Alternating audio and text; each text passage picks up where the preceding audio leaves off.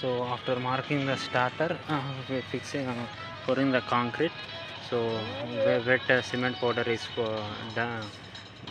poured on the concrete in order to get it dried. Then they'll remove these shuttering boxes you'll see now.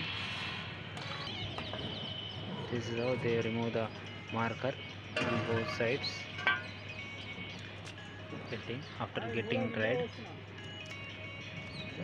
so yes this is uh, so that the shuttering box can get fixed exactly.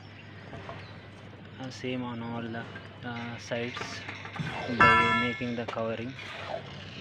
So you are seeing the edge of the starter of this thread green orange thread. That's how why they pour the starter